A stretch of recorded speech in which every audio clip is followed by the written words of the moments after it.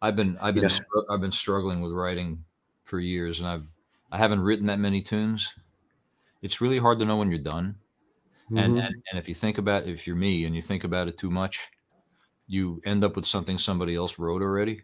exactly. And think we all have that problem, you know. But I, I had never written any tunes at all, and and um, about ten years ago, Tony uh, Trischka and, and I and a wonderful guitar banjo player, Paul Bradley, we had a little group called Jawbone, and we uh, we got together and and um, at the first rehearsal, uh, Tony said we, we were just throwing ideas out, you know, at each other, and he said, Bruce, let, let's play something you wrote, and uh, and I said, well, I haven't written anything, and he looked me in the eye and he said, you have one week to write a tune.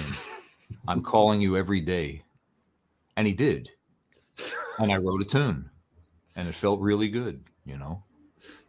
Um, but I've written a few tunes since then. But it's, I, I think uh, modern technology, iPhones, you know, smartphones are really great. If you get a, a, a an idea, sing it into the phone. You know, if you're on the bus or walking along the street, um, and come back to it later, and and just hammer it away. That's that's kind of how I do.